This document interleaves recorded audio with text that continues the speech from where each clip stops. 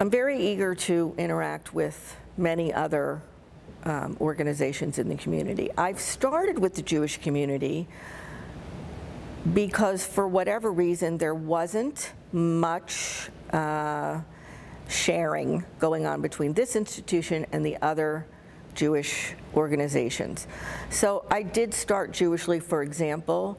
I've made an alignment with the Miami Jewish Film Festival which didn't exist. So I'm now an official venue so that we can show movies from the film festival and get the whole film festival crowd in here.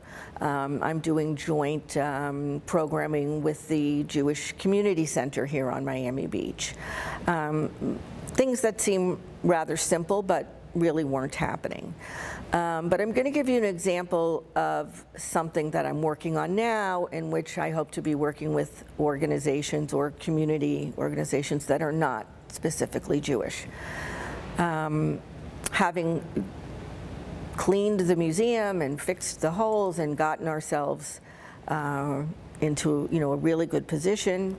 Uh, I also got myself on the board of the Conference of American Jewish Museums, where I'm able to meet the directors of all the other big museums in the country. We were selected to be one of the museums to receive a traveling exhibit about Leonard Bernstein.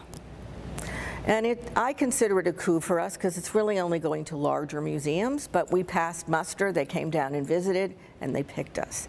So I'm already in talks with Howard Herring at the New World Symphony, um, about programming, about things we're going to do. Um, I wanted very much to do an exhibit about um, MTT, Michael Tilson Thomas.